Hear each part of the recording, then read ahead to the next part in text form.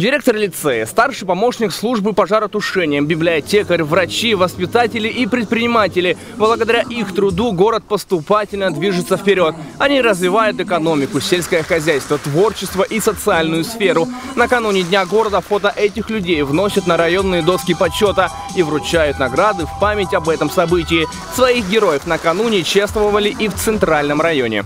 Приложу в будущем максимум усилий чтобы решать задачи, поставленные администрацией района, города, региона, полученные результаты приумножать. Это очень важное направление работы, это итог работы людей, это поощрение, это поддержка, уважение, это эмоциональная составляющая нашего труда. На новой доске почета Центрального района 120 коллективов и 181 персона. Ежегодно в летопись района попадают новые лица и трудовые коллективы. Но главная ценность района, города – это прежде всего люди, благодаря которым при поддержке правительства, депутатов, администрации города район развивается, благоустраивается – на сегодняшний день Центральному району есть чем гордиться. Здесь более 20 промышленных предприятий, 30 детских садов, 22 школы и 5 высших учебных заведений. За этим всем стоят люди. И по словам руководства района, это самое важное, что есть у города.